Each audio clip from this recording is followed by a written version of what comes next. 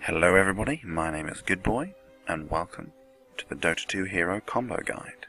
A great way of looking at individual heroes and who they combo best with.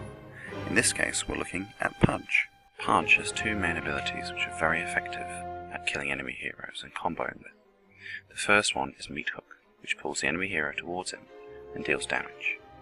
His second ability to combo with is his Dismember, his ultimate ability, which allows him to hold an enemy hero in place for up to 3 seconds while dealing damage.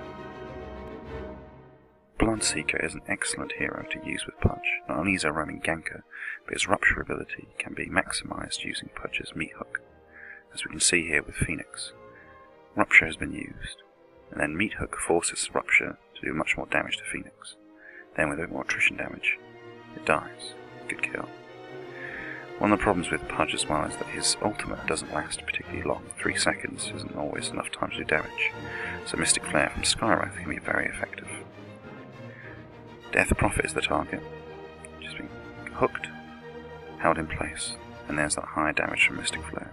With a bit more attrition, she dies. Great work. If you haven't got a high damage output, or a nuke, then perhaps you can use Duel instead to keep them there for a little bit longer after Dismember ends. So there's Death Prophet, there's Dismember, and then there's Duel to keep them there for enough time to kill them. Excellent work. Good kill. Thanks for watching. Please like and share the video, and subscribe to the channel. If you'd like more combos, follow the video links.